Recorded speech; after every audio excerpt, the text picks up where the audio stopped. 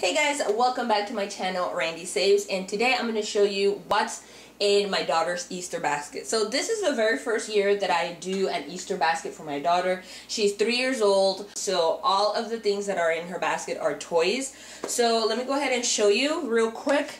So this basket, I bought it at the Dollar Tree. So they had so many cute baskets, but I opted for this one. It's plastic, and hopefully it will be one of those uh, things that I, I can use every year.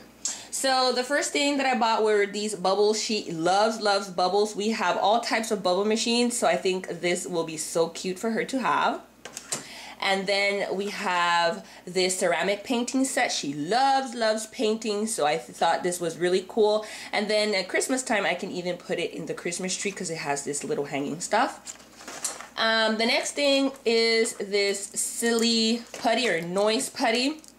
So she also enjoys this, so I got her this in pink. And all of these are from the Dollar Tree. And then I got her these Avengers stickers. She loves stickers and um, her dad loves anything Marvel. So um, I just thought it would be cool for her to have this.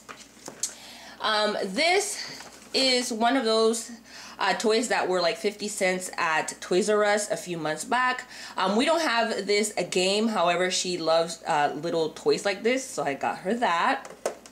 And then this I got from Star Wars. My husband loves Star Wars. Like I've said before, I'm probably the 1% of people that have never watched Star Wars. Anyway, so I got this on clearance, I believe two or two years ago at CVS or probably a year ago at CVS. It was 99 cents, so that's there. And then last but not least, yes, it's last, um, these Whack-A-Pack. Um, uh, these are really popular, so I thought she will really enjoy this.